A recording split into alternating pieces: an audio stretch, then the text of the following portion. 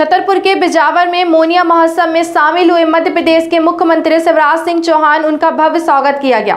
मोनिया नेत्र दलों के बीच जमकर नाचे। इस अवसर पर बिजावर विधायक राजेश बल्लू शुक्ला ने मंच से अपने विधानसभा क्षेत्र में प्रमुख मांगों रखते हुए कहा कि बिजावर में आयोजित होने वाले मोनिया महोत्सव को शासन के सांस्कृतिक विभाग से जोड़ा जाए। साथ ही सामुदायिक स्वास्थ्य केंद्र का उन्नयन कर सिविल अस्पताल दर्ज किया जाए। बिजावर में आईटीआई खोलने बुंदेलखंड के केदारनाथ कहे जाने वाले जटाशंकर धाम को मध्य प्रदेश पर्यटन सूची में शामिल करने तथा सटई नगर पंचायत को उप तहसील बनाने तथा सामुदायिक स्वास्थ्य केंद्र बनाए जाने सहित क्षेत्र की मूलभूत मांगे रखी। जिस पर मुख्यमंत्री शिवराज सिंह चौहान ने मंच से आम जनता को संबोधित करते हुए कहा कि बिजावर के विकास में कोई कसर नहीं छोड़ी जाएगी और मंच से सटई में उप तहसील खोलने की घोषणा की।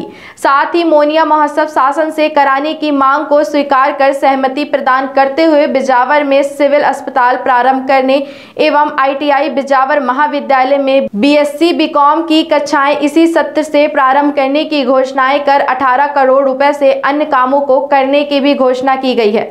साथ ही कार्यक्रम समापन के बाद मुख्यमंत्री ने विधायक निवास पर आयोजित स्वरुचि भोज में शामिल होकर भोपाल के लिए रवाना हो गए।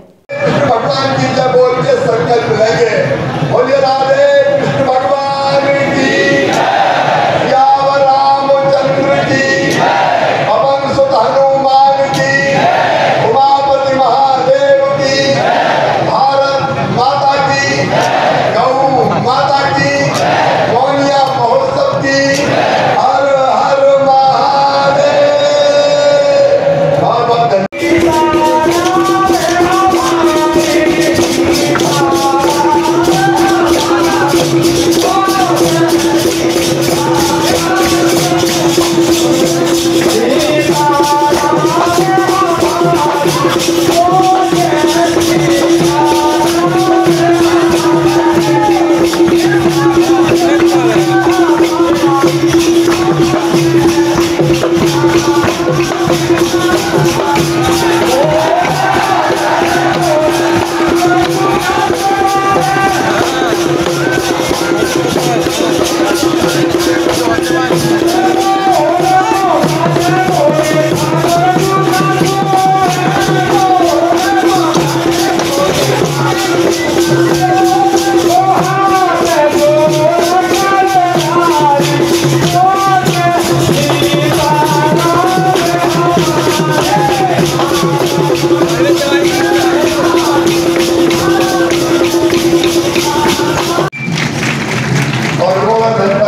vai que.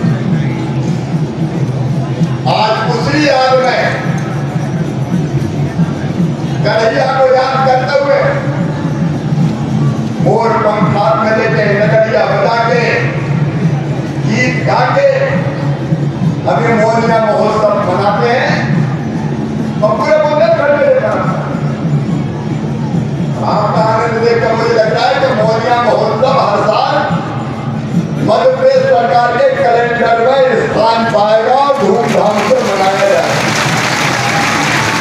बोलिए, होना चाहिए कि नहीं?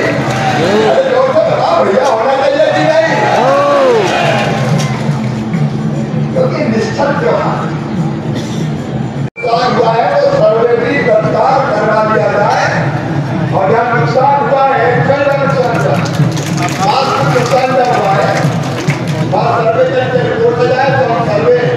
भी और फ़सल बीमा योजना का लाभ मिले इसका भी प्रयास करेंगे एक बड़ी सौगात मिली है मैं प्रधानमंत्री जी को बहुत धन्यवाद देता हूँ उसके लिए जैन और बेटवा योजना चवालीस हज़ार करोड़ रुपए की जैसे अपने पूरे बुंदेलखंड की धरती सिंचित होगी गाँव गाँव पानी आएगा और बुंदेलखंड पंजाब को भी मार्ग कर देगा यहाँ के मेहनती किसान